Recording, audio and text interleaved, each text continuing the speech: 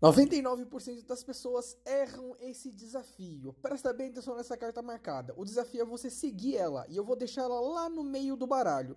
Mas num simples passe de mágica você já perdeu, pois a carta subiu para cima e você nem viu. Mas o segredo está aqui. Você pega duas cartas como se fosse uma.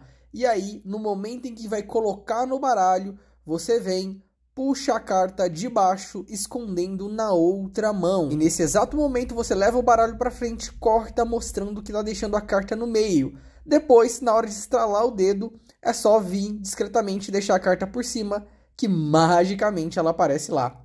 O Guia do Mágico está chegando. Branca.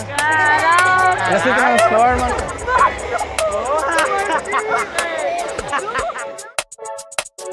E lá dentro eu vou te ensinar tudo o que você precisa para superar todas as suas dificuldades na hora de apresentar mágica, na hora H mesmo. Como abordar pessoas na rua, fazer mágicas em festas, para os amigos, para a família, sem travar, sem ter medo de errar ou algo do tipo. E além disso, eu selecionei a dedo as melhores mágicas para te ensinar lá dentro. Mágicas de grande impacto que vão fazer você deixar qualquer um de boca aberta em qualquer lugar.